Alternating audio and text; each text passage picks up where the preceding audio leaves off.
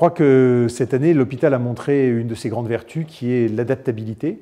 Euh, la crise était violente, elle était soudaine, et pourtant les organisations se sont adaptées euh, à une situation totalement inédite.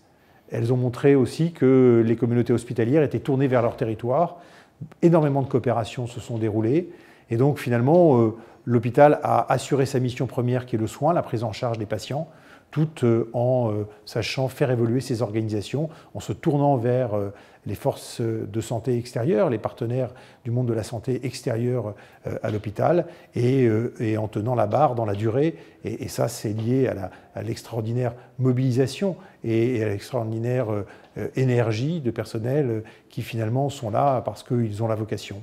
Et ils en ont fait la preuve devant les Français.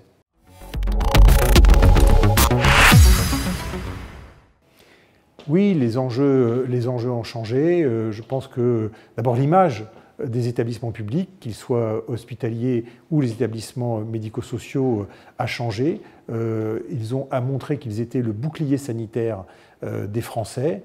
Et, je pense qu'il y aura un après-crise sanitaire où le rôle et la place de l'hôpital et le rôle et la place des EHPAD va profondément euh, évoluer. En tout cas, nous, la Fédération hospitalière de France, avec l'ensemble de nos partenaires, eh bien, nous ferons tout pour que finalement il y ait un après et que cet après euh, permette euh, eh bien, de, valoriser le rôle central de nos établissements publics.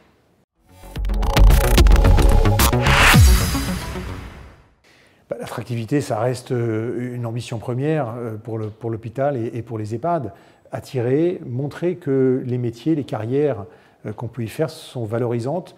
Euh, c'est un des enjeux actuels avec euh, autant de postes à pourvoir. je pense que le regard des Français a changé sur les métiers hospitaliers, sur les métiers de l'accompagnement du grand âge, et que ces métiers ont retrouvé beaucoup de valeur aux yeux, et notamment des jeunes générations. On le voit dans les choix qui sont faits pour l'orientation des études. et donc, je regarde la période à venir avec beaucoup d'optimisme euh, et puis on a contribué avec le Ségur de la santé euh, à ce qu'il y ait un grand rendez-vous de reconnaissance de la valeur, au sens, j'allais dire, presque pécunier du terme, de la valeur de ces métiers.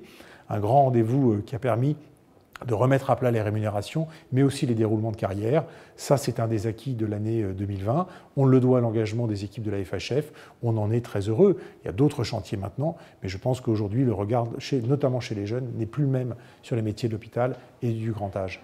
Tous ces sujets, et ils seront majeurs, seront vraiment au cœur des débats euh, de Santexpo Live entre le 9 et le 11 mars. Ça sera vraiment euh, abordé dans ces différents aspects, donc euh, retrouver l'ensemble des contributions qui permettront de mieux comprendre et de mieux appréhender l'enjeu de l'attractivité dans nos établissements.